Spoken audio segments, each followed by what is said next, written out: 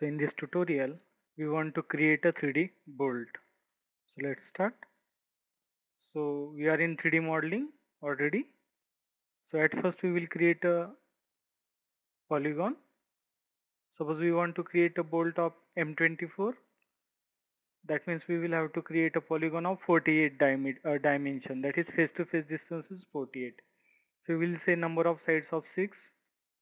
Then center of polygon and uh, we will take circumscribe because it is a face to face distance and the radius is 24 so just double click the roller. So I don't want this icon in between. So I will see this icon no origin n enter. So polygon is ready. So I have now I will extrude it extrude the polygon. So before that I will switch to southeast isometric I will extrude this polygon by 24 right? So extrude.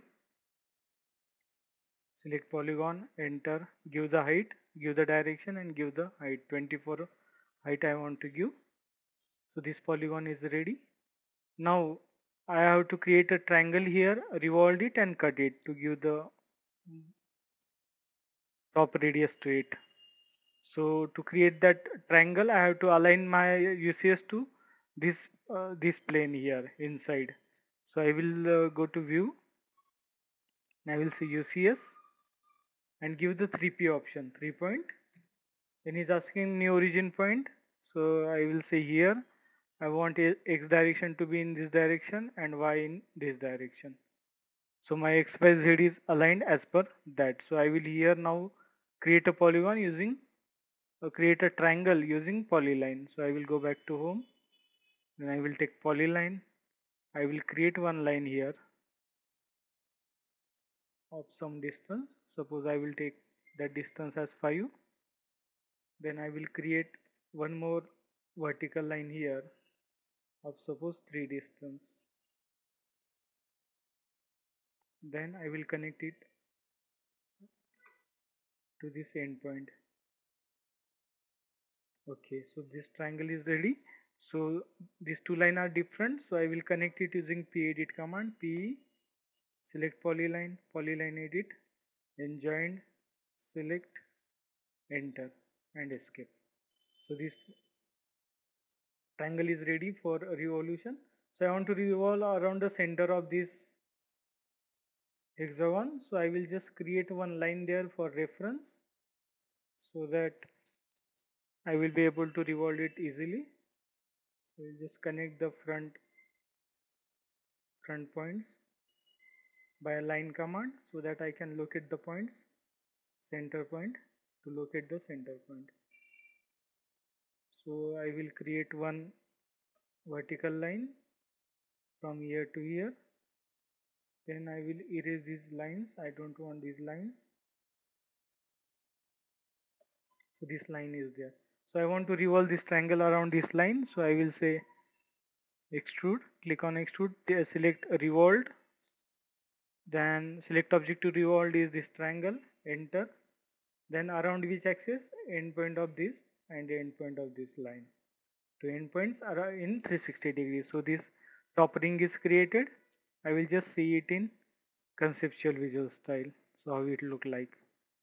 So this top ring is ready. So I have to subtract now this top ring from the hexagonal block. So I will just say subtract, subtract.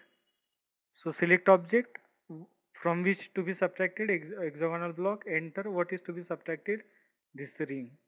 Then press enter. So this shape we have got here, the nut shape. So next step is to create a shaft so we will go back to view and shift our UCS to top and we will create a circle here of our circle uh, M24 that means 12 radius. So this circle is ready. So we will just press pull or extrude. We can press pull or extrude both way it is possible. So we will go to home and we will just press pull this inter circle. Okay. We have to click on the circle actually. So we'll just say press pull go inside the circle. Click and give the height. So you can define the height as per your requirement whatever height you want. Suppose we want a height of 75 or suppose 100 we will take it. So this 100 is defined here so next step will be to create a threadings. So we want to create a threading also. So for that we will create a helix and then later on we will cut it down. So helix. So center point is bottom center for helix. So helix to be created on the okay we are already in top plane.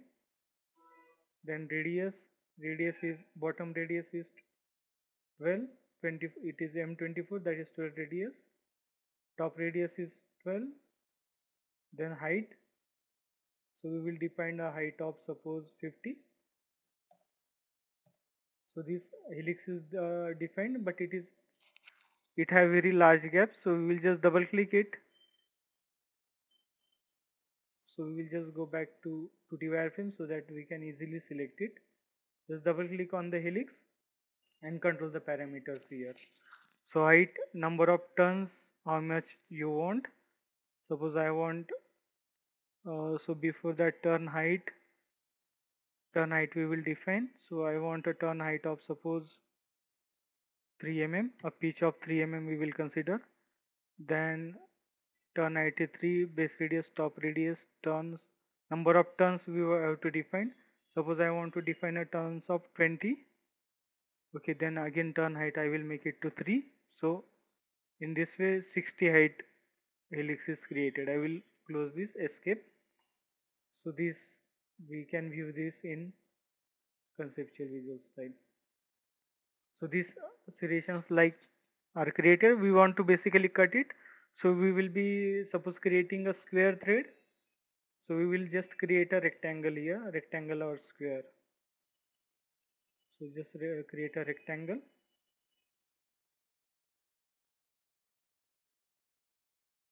A Square, uh, we will take the dimension suppose. Dimension we want it to be of 3 by 3.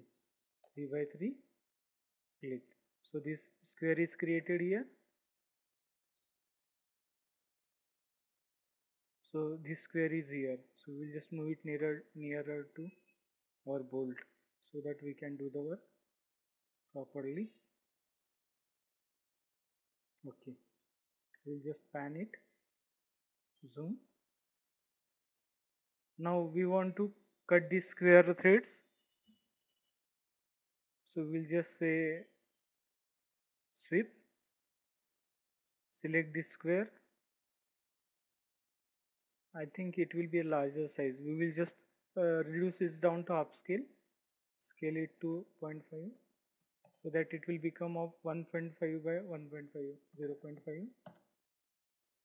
Okay, now we will sweep it, sweep.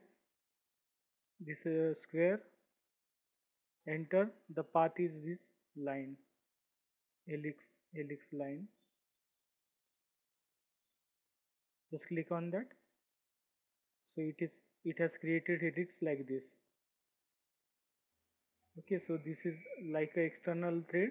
So we just want we will just subtract this so that we will create a serration on the bolt shaft. So we will say subtract.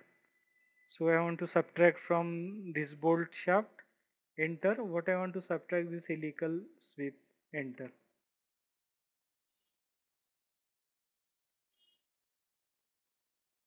So here you can see that the helical, the square threads has been created here in 3D.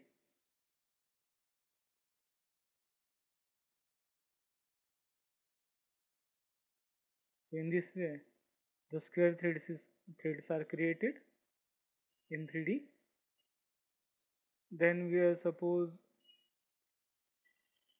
okay, before we have, was have to use the chamfer then we can give here chamfer also to this line so for that we will use the chamfer tool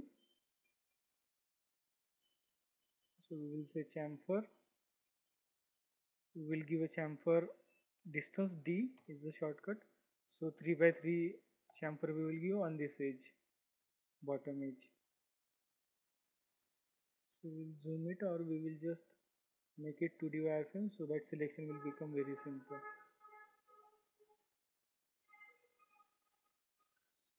Okay, so this bottom edge we want to chamfer. So we will say chamfer. We already set the distance. So we will just select this edge. Then enter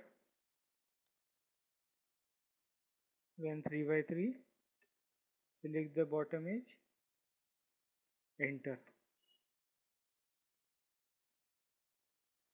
so the chamfer is created we will just see it in 3d wireframe conceptual visual style so in this way we will just erase this sweep uh, helix so that it can be viewed properly so in this way our 3D bolt is ready with threading and chamfer at the bottom. So in this way you can make bolt in AutoCAD. Thanks for joining. We will stop here. Thanks.